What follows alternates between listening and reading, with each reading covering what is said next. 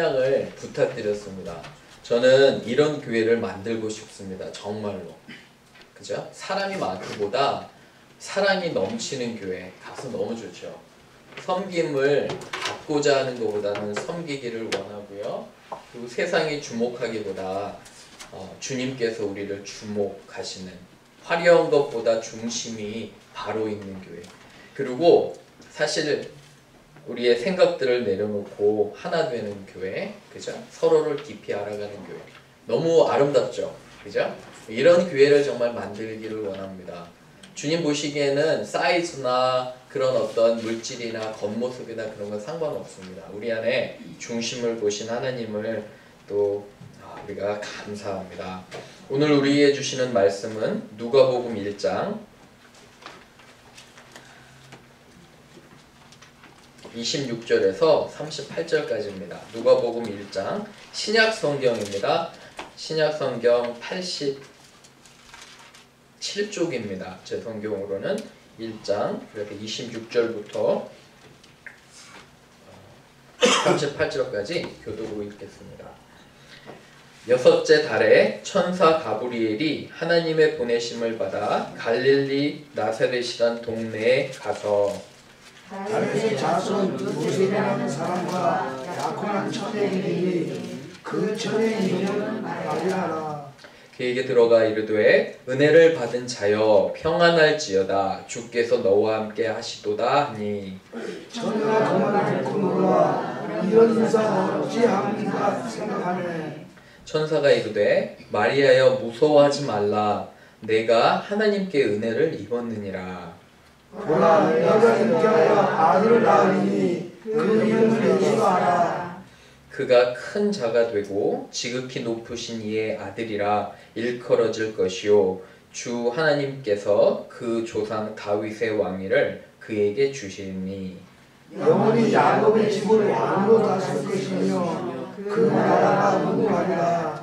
마리아가 천사에게 말하되 나는 남자를 알지 못하니 어찌 이 일이 있으리이까 천사가 대답하되 성령이 너희 임하시고 지극히 높으신 이의 이름이 너를 덮으시니 이름으로 나타시다 거룩한 이는 하나님의 아들이라 일컬어지리라 보라 내 친족 엘리사벳도 늙어서 아들을 배었느니라. 본래 임신하지 못한다고 알려진 이가 이미 여섯 달이 되었나니. 대저 하나님의 모든 말씀은 능하지 못하심이 없느니라 같이 읽겠습니다. 마리아가 이르되 주의 종족이 말씀대로 내게 이루어지지가 하매 천사가 떠나가니라 아멘. 감사합니다. 잠깐 기도하겠습니다. 주님, 우리에게 말씀을 볼 수 있는 지혜 주셔서 말씀 잘 이해하고 하나님을 믿으며 그리고 삶에 적용할 수 있도록 주님 인도하여 주옵소서. 예수님의 이름으로 기도합니다. 아멘.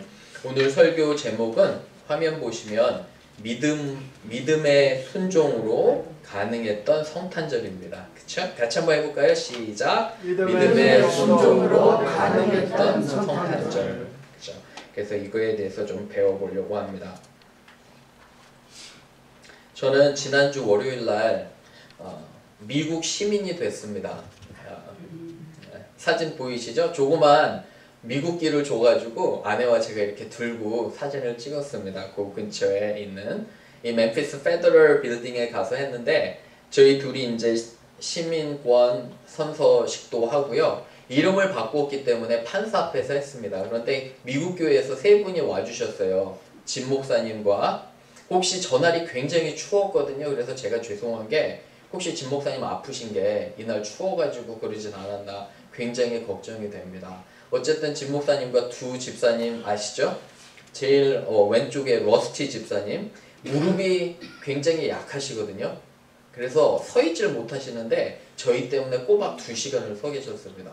얼마나 죄송한지 참 제가 제자리를 내드릴 수도 없고 굉장히 죄송했습니다. 옆에는 데니 집사님 이렇게 이제 모여서 좋은 시간을 보냈습니다. 그런데 이 시민권 신, 이제 선서식에 판사가 있었는데요. 판사가 자기 얘기를 합니다. 자기는 사실 유태인이라고 합니다. Jewish. 그리고 자기의 증조모께서 그러니까 증조 할머니께서 1900년대 초에 멤피스로 이민을 왔다고 합니다. 근데 그 증조모가 어디서 왔냐면 우크라이나, 유크레인, 우크라이나에서 유대인들 그 가정이 여기 온 거예요.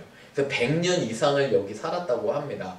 100년 동안에 가족이 60명 정도가 됐대요. 그래서 크리스마스 때면 항상 이 가족들이 모두 모여서 같이 이 어떻게 우리가 미국에 왔나를 생각하고 좋은 시간을 갖는다고 합니다. 판사가 너무 따뜻해요. 이민자들에게. 나도 이민자였기 때문에 여러분들을 너무 환영, 환영한다고. 그리고 아주 따뜻하게 얘기를 해주는데 동시에 판사가 무섭습니다. 동시에 우리에게 뭐라 얘기하냐면 여러분들이 미국 시민으로 선서하는 순간에 나와 무엇을 약속하냐면 모든 미국의 법을 따르겠다는 것을 약속하는 순간이라고 단호하게 얘기를 합니다. 따뜻함과 단호함이 어떻게 이렇게 공존하는지 저는 참 이 판사를 존경했습니다. 하면서 분명한 것은 미국은 좋은 나라입니다. 책임도 있지만 그에 따르는 그 당연한 그죠? 해야 될 것들 법을 따라야 되는 것이 있다고 분명히 얘기합니다. 사람들 미국에 대해서 많이 비판합니다. 욕하는 거 들어보셨어요? 미국이 뭐가 나쁘고 어, 뭐가 또 잘못되고 얘기 많이 하죠. 근데 아직까지도 전 세계의 모든 사람들은 어디를 오려할까요? 미국을 오려합니다. 그렇게 보면 아직까지는 좋은 나라 같습니다. 그렇죠? 근데 이 좋은 나라에서 살려면 우리는 마땅히 법을 지켜야 됨을 그 판사는 아주 많이 강조했습니다. 사랑하는 여러분, 우리는 천국 시민입니다. 아멘? 그죠? 예수님을 믿고 우리는 천국에 갈 거고 하나님의 자녀입니다. 그래서 우리 집사님 말씀하셨듯이 하나님을 아버지라고 부를 수 있는 거예요. 그런데 여러분들 천국의 시민이 되면 특권만이 있는 것이 아닙니다. 그에 따르는 뭐가 있어요? 책임과 순종이라는 게 있는 겁니다. 왜 그러냐면요. 그 책임에 순종을 할 때 하나님께서 우리를 축복하시고 사랑하시기 때문에 그런 것 같습니다. 그래서 오늘은 이 순종에 대해서 배워보려 합니다. 세 개 정도로 하는데요. 여기 한번 보세요. 썰문 믿음의 순종으로 가능했던 성탄절이고 1번 하나님은 뭐가 있는 자들에게 명령을 주실까요? 한번 보세요. 명 그죠? 하나님은 믿음이 있는 자들에게 명령을 주시는 것입니다. 우리 같이 한번 읽어볼까요? 시작. 하나님은 믿음이 있는 자들에게 명령을 주시는 것입니다. 그렇죠? 믿음이 없는 자에게는요, 당연히 명령도 없는 거예요. 그죠? 하나님의 명령은 믿음이 있는 자에게만 의미가 있는 거예요. 그죠? 그래서 거기 26절 한번 보세요. 여섯째 달에 천사 가브리엘이 하나님의 보내심을 받아 어디에 가요? 갈릴리? 나사렛 동네 저기 촌동네. 한국으로 말하면 저 땅끝 해남 지역. 제 친구 하나가 해남에서 왔는데요 대학생 때. 얼마나 촌 사람인지 정말 촌놈이었습니다 그때. 저는 서울 살았습니다. 그래서 아주 멋있는 서울 사람이었고 제 친구는 촌놈 그죠? 또 하나 치, 친구 하나 있었는데 강진에서 왔어요. 강진. 강진도 엄청 촌입니다. 근데 얼마 전에 한국 가서 보니까 완전히 제가 촌놈이 됐고 그 친구는 너무 멋있는 강남 사람. 그죠? 강남 사람이 됐음을 봅니다. 그래서 인생이 참 여러 가지로 재밌다. 이런 생각이 듭니다. 여러분 여기 갈릴리 나사렛은요. 촌 동네예요. 정말 촌에서도 촌이고 어촌이에요. 어촌. 어촌에서 떨어진 아주 그런 촌동네에 천사가 옵니다. 그리고 27절 보세요. 누구의 자손이요? 27절에 다윗의 자손 요셉이라. 정확하게 700년 전에 이사야 선지자를 통해서 예언한 그죠? 다윗의 라인을 통해서 메시아가 올 거라는 것을 분명히 보여주는 거예요. 다윗의 자손 요셉이라는 사람과 야코난 그죠? 이스라엘 지방에서는 결혼하기 전에 먼저 잠자리를 하기 전에 1년 약혼을 해요. 약혼을 한 이 처녀의 이름이 누구라고요? 마리아. 그죠? 근데 이 천사가 그에게 이야기합니다. 은혜를 받은 자여 28절에 그죠? 평안할지어다 주께서 너와 함께 하시도다 하니 하나님께서는요 믿음이 있는 자를 찾아가시는 줄로 믿습니다. 아멘. 그죠? 믿음이 없으면 하나님의 음성을 들을 수가 없어요. 근데 믿음이 있으면은 하나님의 음성을 듣게 되고 찾아가는 겁니다. 믿음이 있었어요. 어떻게 하냐고요? 마리아가 은혜를 받은 자요. 보세요. 은혜를 받고 평안할지어다. 이렇게 하는 거예요. 은혜를 받고 평안한 것. 그래서 믿음 있는 자에게 하나님께서 관심이 있으십니다. 여러분 생각해 보세요. 마리아가 이때 한 14, 15살 됐다고 합니다. 얼마나 어려요? 그죠? 저희 어, 할머님도 16세 시집 가셨다고 합니다. 그러니까 그때 옛날 우리나라 그죠? 1900년대 우리 나중에 권사님들한테도 한번 여쭤보겠는데 그때는 어렸을 때 이제 시집을 갔잖아요. 촌동네 마리아에게 왜 굳이 하고 많은 사람 중에 하나님은 마리아를 찾아가셨을까요? 여러분 생각해 보세요. 하나님께서 마리아가 순종할 걸 알고 계셨을까요? 모르고 계셨을까요? 알고 계셨어요. 그죠? 왜요? 하나님께서는 모든 것을 아시는 분이기 때문에. 그죠? 믿음이 있는 것을 아셨을까요? 몰랐을까요? 당연히 아셨어요. 그죠? 믿음이 있었기 때문에 하나님께서 찾아가는 것을 보게 됩니다. 그래서 이제 믿음의 중심으로 우리 믿는 사람들에게 하나님께서 찾아오시는 것입니다. 그래서 이러한 은혜를 주시는 것입니다. 요새 우리 이제 뭐 노아도 그렇고 여러 아이들에게 어, 대학 가는 문제가 굉장히 중요합니다. 어, 그래서 이제 막 들려옵니다. 어떤 고등학교의 아이는 아주 좋은 학교를 갔다. 지금 이제 대학 막 발표나는 시즌이거든요. 그래서 미리미리 이렇게 하는 사람은 뭐 그래서 어떤 어떤 좋은 학교를 발표했다 막 그렇게 여러 가지 얘기를 합니다. 그런데 제가 저희 아이들뿐만 아니라 부모들에게 강조하는 게 뭐냐면 예를 들어 아이들이 굉장히 좋은 학교를 갔어요. 근데 믿음을 버리면 어떻게 할 거냐? 최근에 하나 들은 소식도요. 얼마 전에도 금요일, 토요일마다 그리고 아이들이 주일날 교회를 못 간대요. 여러분들 대학생들이 왜 주일날 교회를 못 가는지 아세요? 예, 토 금요일 밤이랑 토요일 밤에 뭘 할까요? 파티를 해요. 파티를 하는데 주로 술도 엄청 마신다고 합니다. 술을 한두 번 먹는 게 아니라 짝으로 놓고 먹는데요. 예. 그리고 이제 그런 아이들이 분류가 하나 있고 또 하나는 밤새도록 컴퓨터 게임 오락한답니다. 금요일하고 토요일 날. 그래가지고 졸업을 요번에는 4년 안에 졸업하는 아이들은 굉장히 좋은 아이들이래요. 우리 멤피스 대학생들 열심히 공부하는 거 제가 알아서 감사합니다. 근데 아이들이 4년 만에 졸업을 못한대요. 왜 그러냐면 8시 수업이 있으면 술이나 게임이나 그런 거 하면 8시 수업 못 가요. 주일은 고사하고 많이 빼먹는답니다. 최근 업데이트된 소식입니다. 제가 대학생들 만나서 안타까워요. 좋은 대학을 가는 건 중요한데 믿음이 있어야 되는 거예요. 사랑하는 여러분 어디를 가든지 내가 하나님을 믿고 흔들리지 않는 믿음이 있으면 그죠? 내 중심이 잡히는 겁니다. 그런데 세상에 유혹이 얼마나 많은지 몰라요 아이들에게. 그래서 좋은 대학을 먼저 강요하는 것보다는 뭘 더 강조해야 될까요? 하나님을 바로 믿는 거, 그죠? 그래야지 하나님께서 축복을 주시잖아요. 여기도 보면. 그러한 믿음을 정말 우리는 중요하게 생각해야 됩니다. 두 번째로 한번 보세요. 하나님의 명령은 모든 것이 이해 한번 적어보세요. 여기 이해가 되는 것이 아닙니다.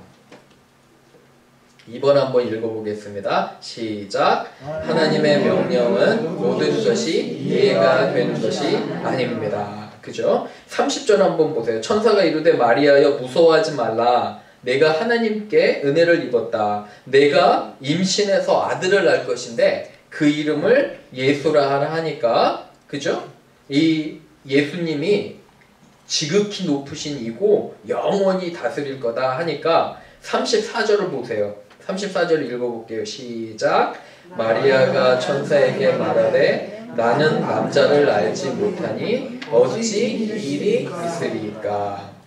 아이를 낳으려면 남자를 알아야 됩니다. 그죠? 근데 어떻게 처녀가 잉태를 합니까? 성령으로 한다고 하잖아요. 그래서 마리아는 어, 마리아의 몸을 빌어서 주님께서 오신 것입니다. 그러니까 주님의 아버지는 하나님이 되시는 거예요. 그죠? 몸을 빌어서 왔기 때문에 그래서 성령으로 난다는 걸 마리아는 도저히 이해할 수 없습니다. 믿음이라는 건 이런 거예요. 많은 경우에 우리가 이해하려고 하지만 어떻게 여러분 처녀가 임신해서 잉태를 합니까? 주님께서 태어나시고 그 자체가 너무도 좀 놀라운 그런 사건들이잖아요. 화면 한번 보시기 바랍니다. 성경에는 우리가 쉽게 이해할 수 없는 말씀들이 많이 있습니다. 첫 번째 읽어볼까요? 시작. 그의 어머니가 하인들에게 이르되 너희에게 무슨 말씀을 하시든지 그대로 하라 하니라. 그죠? 보세요. 이게 가나 혼인 잔치예요. 뭐라고 해요? 그대로 해라. 주님께서 물을 뭘로 바꾸셨죠? 포도주로 바꾸실 때 명한 명령이에요. 그 다음 거 한번 읽어볼게요. 시작. 이세가 그의 아들 일곱을 다 사무엘 앞으로 지나가게 하나 사무엘이 이세에게 이르되 여호와께서 이들을 택하지 아니하셨느니라 하고 다윗 왕을 택할 때 다윗 위에 일곱 형들이 있었어요. 머리 하나가 더 크고 더 멋있어요. 용맹해요. 몸도 좋아요. 근데 왜 굳이 하나님께서는 다윗 왕을 택하셨을까요? 보잘것없는 목동의 막내 아들을 하나님의 그런 계획하심을 우리는 잘 알지 못하는 거예요. 그러니까 하나님은 여러분들의 외모를 보시는 게 아니에요.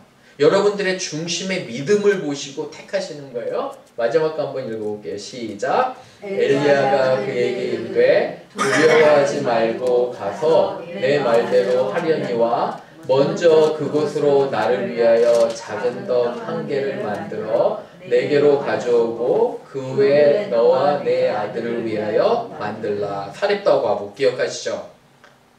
기름 조금 있었어요. 밀가루 조금 있고 나는 죽으려고 합니다 하는데 엘리야 선지자가 먼저 그것을 만들어서 나에게 가져오라.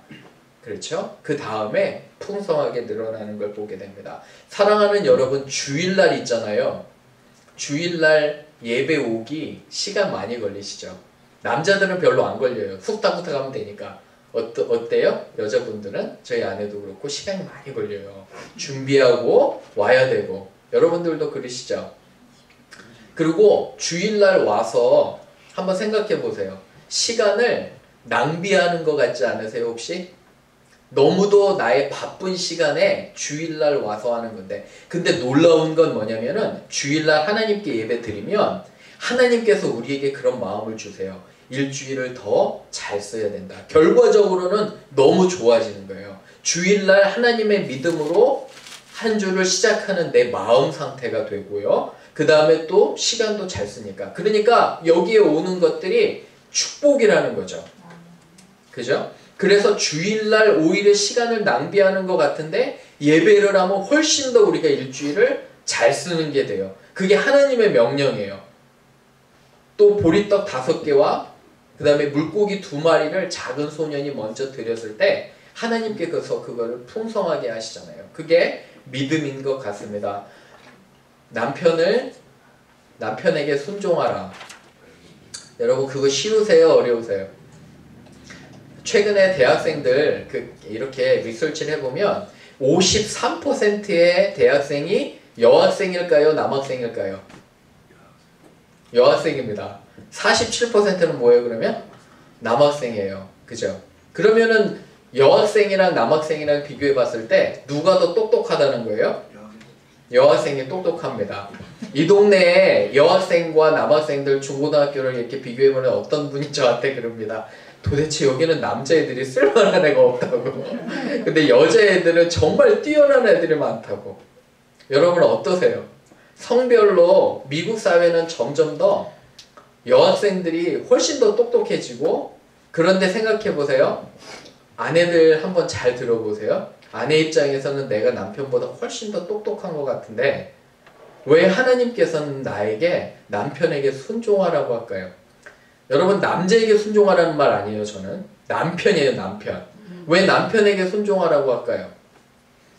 또 하나 여러분 여쭤볼게요 남편들 잘 들으세요 아내가 도저히 사랑스럽지가 않아요 하나부터 열까지 하는 게 마음에 하나도 안 드는데 하나님께서는 사랑하라고 하세요 명령이 쉬워요, 어려워요? 옆에 분 한번 보세요. 부부가 같이 오셨으면 그게 쉬워요, 안 쉬워요? 어려워요. 그죠? 하나님의 명령이 이해가 되시나요, 안 되시나요? 자녀들, 우리 아이들 있는데 잘 한번 들어보세요. 아빠보다, 엄마보다 내가 더 똑똑한 것 같아요. 아빠, 엄마는 영어도 잘 못해. 미국 컬처도 잘 몰라. 근데 하나님께서는 자녀들에게 어떻게 얘기했냐면 아빠, 엄마에게 순종하래요. 너희들이 잘 되고 장수하려면. 그게 하나님의 법칙이에요. 사랑하는 여러분, 남자와 남자가 결혼하는 게 성경은 절대 얘기하지 않아요. 하나님의 지으신 질서는 남자와 여자와 거예요. 왜 이런 법들을 만들어 주셨어요? 우리에게 행복하라고. 그게 우리가 살아갈 길이니까. 우리는 때로는 이해가 안 될 수도 있어요. 내 머리로는 이해가 안 돼도 내가 아내를 사랑하고 내가 남편을 존경하고 그죠? 예배 드리고 그리고 가난한 사람을 구제하고 그리고 도문 사람을 돕고 그게 하나님의 법칙인 것입니다. 이 모든 하나님의 그 명령이에요. 이해 안 돼도 따르시는 여러분 되기를 주님의 이름으로 축원합니다. 아멘. 그죠? 이해 안 돼도 따르셔야 돼요. 마지막 세 번째로 갑니다. 세 번째 하나님의 명령에 뭐함으로요? 순종함으로 우리 한번 읽어볼게요. 시작. 하나님의 명령에 순종함으로 그의 놀라운 뜻이 이루어집니다. 마지막 절 보세요. 38절.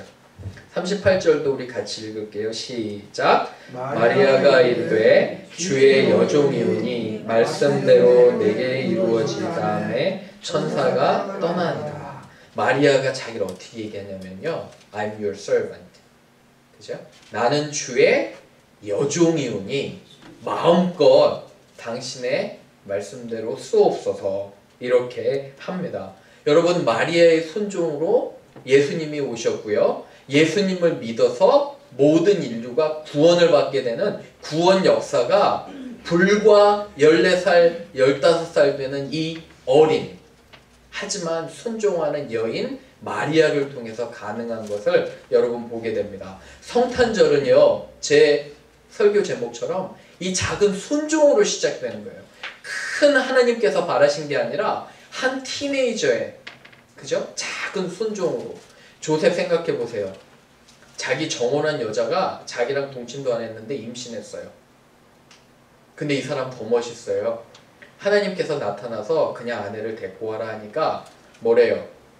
두말하지 않아요 요셉은. 묵묵히 가서 마리아를 어떻게 해요? 데려와서 살아요. 여러분 그거 생각해 보셨어요? 사회적으로 처녀가 임신했는데 얼마나 비난하겠어. 야 요셉아 친구들이 그럴 거예요. 네 아내가 임신했는데 너는 어떻게 그를 믿냐? 수근수근 거리고 소문내고 하는데 요셉은 말이 없어요. 묵묵하게 자기 아내를 끝까지 지켜준 거예요. 요셉은 일찍 죽었다고 문헌에 보면 얘기를 해요. 왜 그러냐면 후에 이 마리아는 계속적으로 성경에 나오지만 마리아의 남편 요셉은 별로 나오질 않아요. 일찍 죽었는지 우리는 잘 몰라요. 하지만 이 사람이 정말 대단한 것은 하나님께로 하라고 하니까 두 말 안 해요. 하나님께서 네 아내가 임신했는데 네 아이는 아니지만 데려와서 살아라. 끝까지 책임지고 사는 거예요. 그 믿음을 여러분들은 보시나요? 작은 요셉과 마리아의 순종으로 이 엄청난 인류 구원의 시작이 시작되는 것입니다. 여러분 잘 들으셔야 돼요. 부흥은 어떻게 시작되냐면 다른 사람에 의해서 시작되는 게 아니에요. 내 안에 작은 순종. 주님께서 말씀하시는 거 하나 내려놓으면 그게 순종이 되는 줄로 믿습니다. 아멘. 그죠? 그래서 다시 한번 여러분 이 찬양 처음에 한번 보세요. 주님이 주목하는 교회예요. 우리가 우리 안에 서로 섬김이 있는 교회. 가사 참 아름답잖아요. 그죠? 이렇게 중심이 주님 앞에 있는 교회가 되어야 됩니다. 성탄절을 맞이합니다. 뭐 여러 가지 거리부터 시작해서 징글벨부터 시작해서 그죠?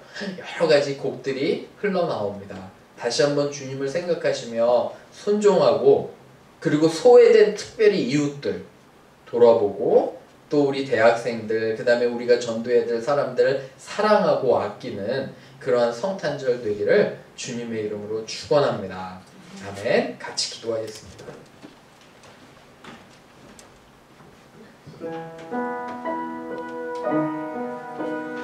함께 기도하겠습니다. 어, 잠깐 마리아와 요셉을 한번 묵상해 보세요. 주님 내 삶에서 아, 주님을 정말 믿는지요? 그리고 아직도 하나님에 대한 믿음이 없다면 이렇게 기도하시면 좋을 것 같아요. 하나님 나에게 하나님 믿는 믿음을 허락하여 주옵소서.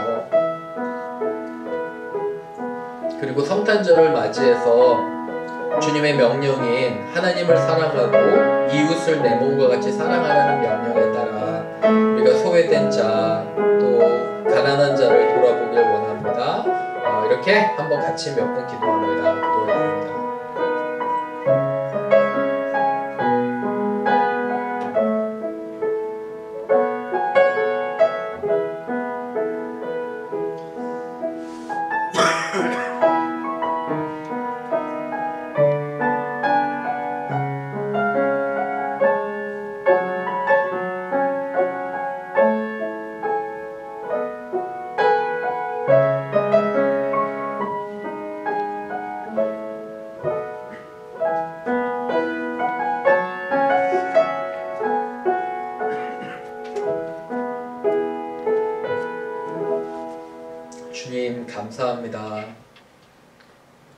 우리를 이 죄 많은 세상에서 구원하시며 천국 백성이 되게 하시려 예수님께서 이 땅에 오신 성탄절을 기억해 봅니다. 주님, 이러한 귀한 날을 맞이해서 아, 우리는 주님의 사랑을 다시 한번 또 생각해 보기를 원하는데 우리의 마음을 일깨워 주시며 또한 주님 그토록 원하신 복음 전하고 제자 삼고 이웃들을 내 몸과 같이 사랑할 수 있는 그런 말씀을 실천할 수 있도록 도와주옵소서. 하나님 우리 성도님들 한 분 한 분 저들의 삶과 가정 가운데 함께 하시며 하나님 믿는 믿음이 있고 천국을 소망할 수 있도록 주여 역사하여 주옵소서. 모든 것 감사드리며 예수님의 이름으로 기도합니다. 아멘.